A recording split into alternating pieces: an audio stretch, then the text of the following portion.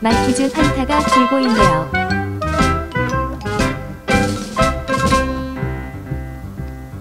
자몽이도 옆에서 졸고 있어요.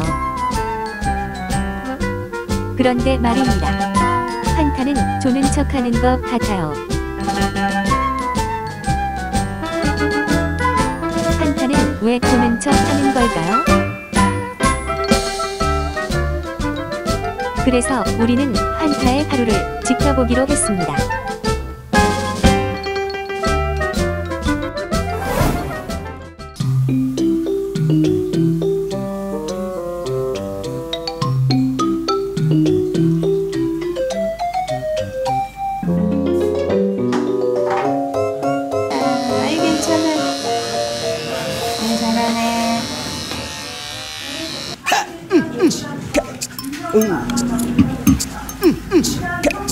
하지 마.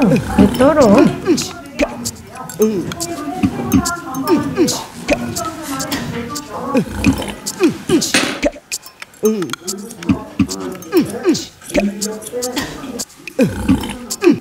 한타 앉아.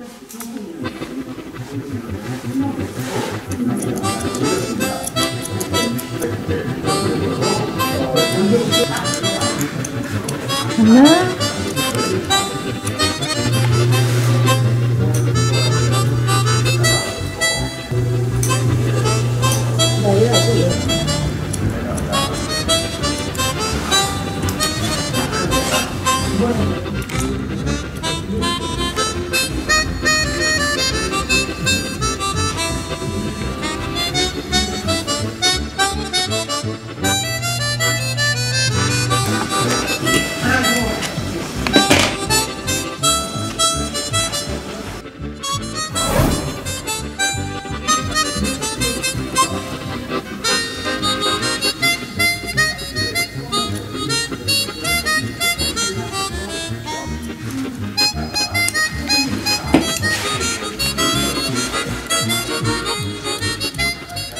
한편 놀이터에 놀러간 자몽은 동네 건달들한테 두들겨 맞고 있어요.